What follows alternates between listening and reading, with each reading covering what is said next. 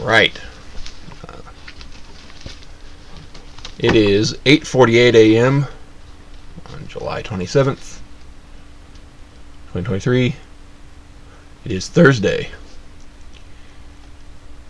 Happy field day! Ain't no party like a working party. Don't gotta do that no mo. So, I guess I'll do a little Motolicious book club. Message to Garcia. So this is supposed to be, I guess, kind of like a Grandpa Simpson rant. This is, first of all, that is Message to Garcia. It is a book by Marine Corps standards. I guess it'd be like a novel by Marine Corps standards. Because reading's hard and we eat crayons. Uh, it's a pamphlet, and and the the preface, I guess, preface, uh, explains that it it was like a, it's published in a newspaper. It, it's it's a pamphlet.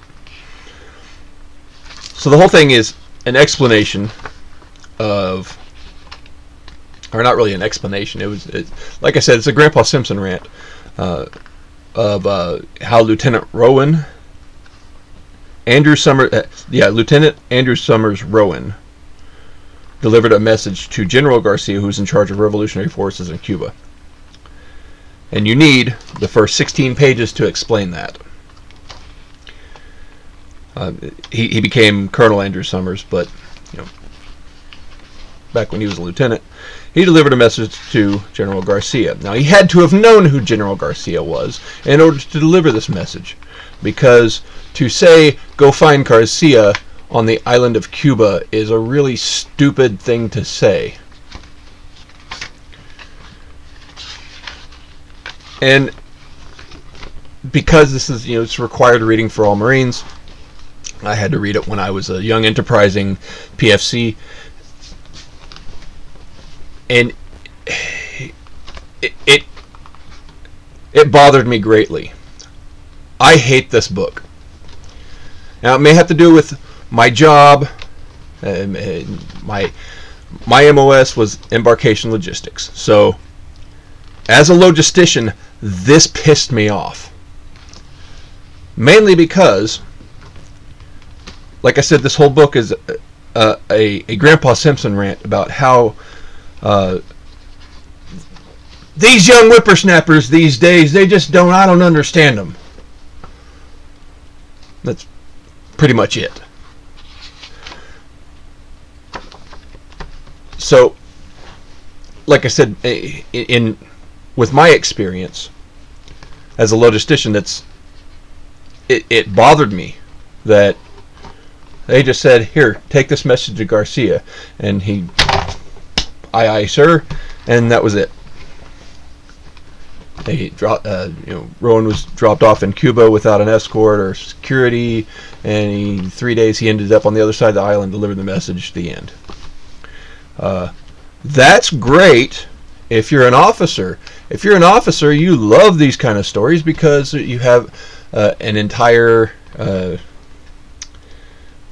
soldiery I guess service branch of unquestioning uh, troops. And that's the other thing they mentioned in the book is, you know, what this country needs is more individualists who never question and fall into line. Uh, okay. Uh, again, logistics. If someone says message to Garcia, and I don't know who Garcia is, I'm going to ask some questions. If you order a tank and you tell me I need this tank or well a plane I need I need I need a tank I, I, I need a, uh, a seat I need a plane okay where are you going uh, when do you need it those are legitimate questions uh, uh, how long do you need a return flight when, uh, when do you need that return flight? How many people are going? Are you taking any carry-ons? Uh, is is there a body on the plane besides yourself? Um, is this is this a private flight? Do you do you mind sitting in a window seat? Perfectly legitimate questions for the task you're given. Order me some Pop Tarts. When do you need them? How many do you need? What flavor? When when they get here, would you like them to be hot or cold? Perfect, legitimate questions. And if you don't want to, uh, you know, be follically challenged like myself, those questions need to be answered. And uh, again, this book, book, uh, this flyer says, "Well, I, I really wish young young folks today would be as unquestioning as uh, as Garcia was. He just got the job done. he didn't he didn't answer you know, ask questions. Well." Uh, young workers are like toddlers. They're going to ask questions because they, they they need to know these things for the future. You did you did when you were younger. So you, you see a junior rank and you hey hey I, go do some menial task and you know that they're usually going to question why because that's how that's how the operation works is you know uh, can't go into combat without beans, bullets, and band-aids. Uh, as cliche as it is, you need the logistical support to go into combat. Otherwise, you're just Rambo. And things don't always work out for Rambo in the real world. Whatever. This book sucks.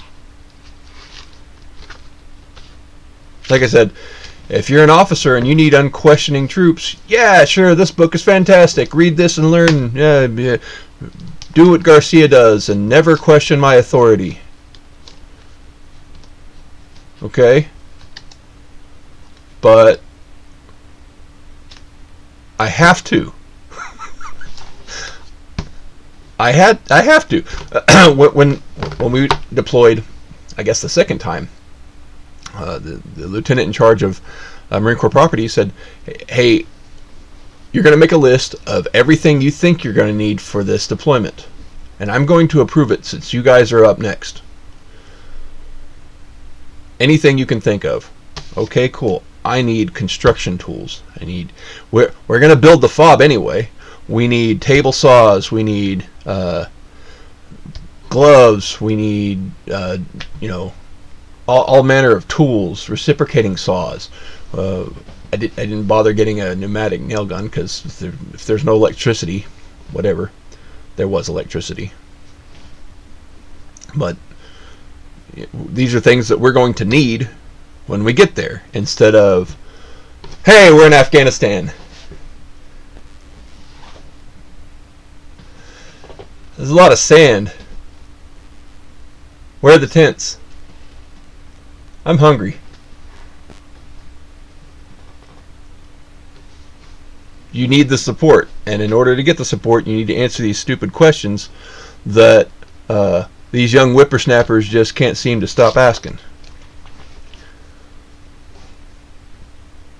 And then there's the civilian question of why are you spending my tax money on something I don't approve? It's not at all relevant to July 27th, 2023. Anyway, read this book. It'll only take you like, you know, 30 minutes if you're illiterate.